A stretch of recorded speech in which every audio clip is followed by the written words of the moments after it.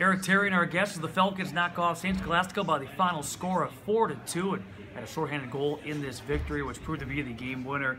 Go back to that goal, kind of explain what you saw as you picked off the pass and took it the other way. Yeah, you know, I kind of I had a chance earlier in the period there. I kind of um, Mac Ferner there gave me a nice pass up the middle.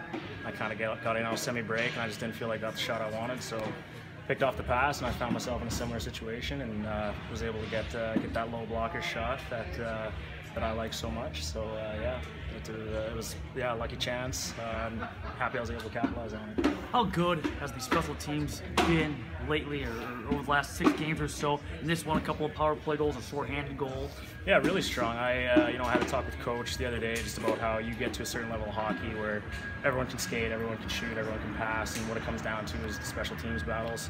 We've been uh, we've been winning those of late, and as a result, we've been winning games, so it's good. Now, nice is to put together a strong third quarter or third period. Third period, yeah, that's that's, that's huge for us. We haven't really uh, been finishing games strong. We've blown a lot of leads this year. I know it's been a frustrating point for us, but uh, I think it's a huge step in the right direction for uh, for the team and the guys in the room for sure look at this last the last now couple of weekends, do you feel like you guys have turned that corner? As, as you mentioned, you guys have been in every game. It's just a matter of getting over that hump. You feel like you're starting to turn that corner now?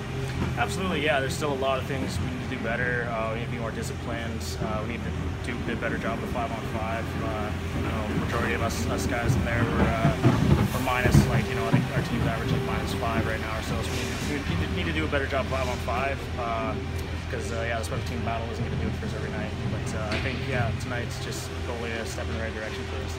Finally, another contest tomorrow at four o'clock against Northland The team you guys fell to four-two, much like St. Scholastica the first time. So how do you go about beating them now here in round two?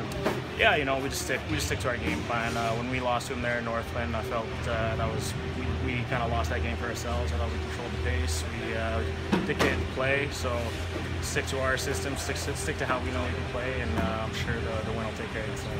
All right, that story here is the Falcons win four to two.